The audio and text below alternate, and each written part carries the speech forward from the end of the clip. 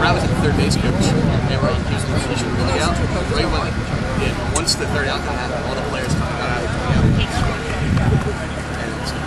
I think both coaches did a good job of keeping them, getting them back pretty quickly. Well, I didn't know what the assistant coach was doing for us. He was running over there. I didn't know if he was running over there to start fighting, but once he got over there, he pulled scratch.